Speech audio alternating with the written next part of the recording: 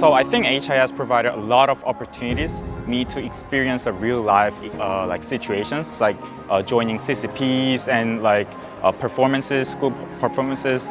Those things uh, allowed me to in, uh, improve my leadership skills and any other skills that is related to my job.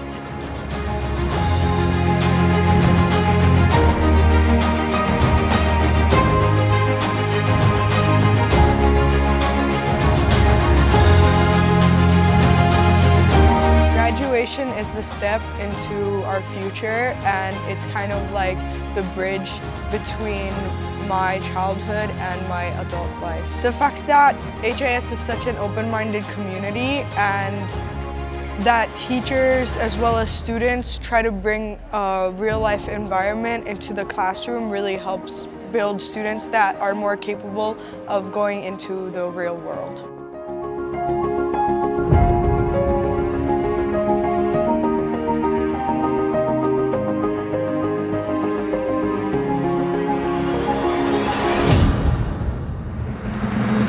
Think graduation represents my achievements and my, all the effort that I put in these past four years now um, that I've been here at HIS. I think it also represents a new part of my life with new challenges going into university, um, leaving my family and just living by myself. So I think it represents many things, but I, if I were to put it in a couple words, I'd say new challenges and celebration.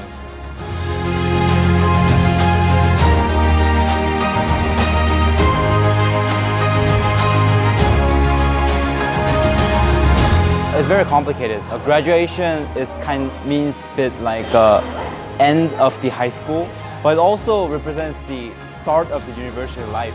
So it's very exciting and also very meaningful. It will be really tough first, but you guys can do it.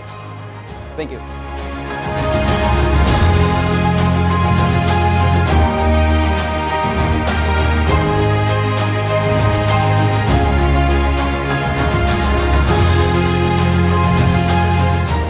The end of high school, but for me, it's more like a start of new journey, and also the opportunity, this opportunity to say thank you to my parents, teachers, and all the friends. Yep.